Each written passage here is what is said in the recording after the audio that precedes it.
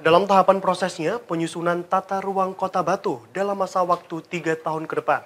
Rancangan peraturan daerah RT RW Kota Batu telah berproses mulai dari peninjauan kembali, revisi, serta penyesuaian terhadap kebijakan penataan ruang, baik kebijakan RT RW nasional, kebijakan RT RW Provinsi Jawa Timur, serta kebijakan-kebijakan pembangunan sektoral yang terkait dengan perencanaan RT RW di Kota Batu.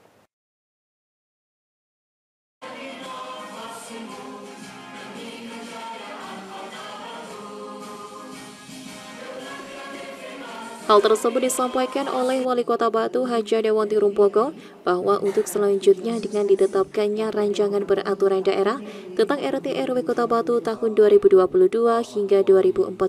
ini diharapkan dapat mencapai tujuan penataan ruang Kota Batu yaitu mewujudkan ruang kota berbasis pertanian dan pariwisata yang berdaya saing dan berkelanjutan yang diimplementasikan melalui kebijakan-kebijakan yaitu mewujudkan pusat kegiatan yang memperkuat kegiatan agribisnis, pariwisata, dan kegiatan kota lainnya secara optimal serta meningkatkan aksesibilitas dan transportasi yang dapat mengarahkan peningkatan fungsi dan keterkaitan antara pusat kegiatan dan sistem transportasi kota yang optimal, dan meningkatkan kualitas dan jangkauan pelayanan sarana dan prasarana yang dapat mendorong perkembangan kegiatan dan perbaikan lingkungan permukiman kota. Selain itu, melestarikan kawasan lindung untuk memperkuat peran daerah sebagai penopang hulu sungai berantas dan keberlanjutan lingkungan daerah sebagai wilayah pegunungan yang asli asri, aman, dan nyaman, mengendalikan kegiatan di kawasan budidaya yang dapat menimbulkan kerusakan lingkungan, mengembangkan kawasan permukiman yang berwawasan lingkungan dan mitigasi bencana,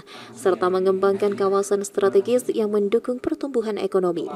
Setelah agenda persetujuan bersama antara Wali Kota dengan DPRD Kota Batu terhadap rancangan peraturan daerah Kota Batu tentang RT RW Kota Batu tahun 2022 hingga 2042, maka tahap selanjutnya sesuai amanat peraturan pemerintah nomor 21 tahun 2021 adalah penyampaian raperda RT RW kepada Gubernur Jawa Timur agar dapat dilaksanakan evaluasi yang memastikan ranperda RT RW telah sesuai dengan persetujuan substansi dan dikonsultasikan kepada Kementerian Dalam Negeri guna penetapan hasil evaluasi atas Raperda RT RW tersebut. Dari Kota Batu, Abraham Patrika, ATV melaporkan.